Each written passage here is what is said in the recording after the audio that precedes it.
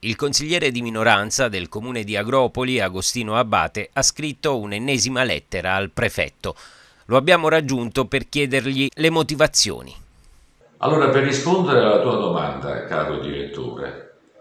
ti dico che fino a quando non sono stato in grado di verificarlo più volte, mai avrei pensato di assistere a uno spettacolo così squallido moralmente, culturalmente e politicamente Mai avrei pensato che tanti consiglieri comunali fossero stati resi capaci di intendere e di volere in Agropoli una dittatura così particolarmente arrogante nei confronti di una minoranza che fino a prova del contrario e fino ad ieri è stata sempre tagliente ma comunque corretta, educata. Mai avrei pensato che in un paese democratico il Consiglio comunale venisse considerato addirittura un intralcio, un fastidio, un'inutile perdita di tempo. Mai, e dico mai, avrei pensato di assistere a sceneggiate come quelle che si sono verificate nel corso dell'ultima seduta consigliare di fine anno, quella del 31 dicembre 2020,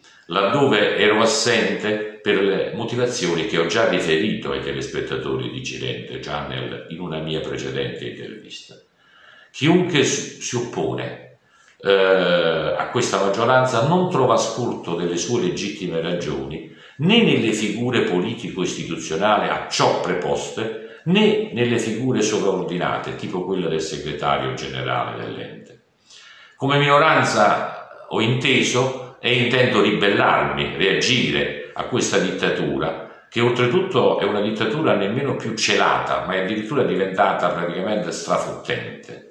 ho scritto al prefetto, gli ho comunicato e documentato la mia contestazione sull'abuso di autorità che si perpetra continuamente nei confronti di questa minoranza e che addirittura, oltre ad essere perpetrata in questo modo, mi costringe ad assentarmi dai consigli comunali perché non sufficientemente documentato nei tempi e nei modi e mi ha costretto, così come l'altro giorno ho dovuto fare, a dimettermi dalle commissioni consigliari permanenti.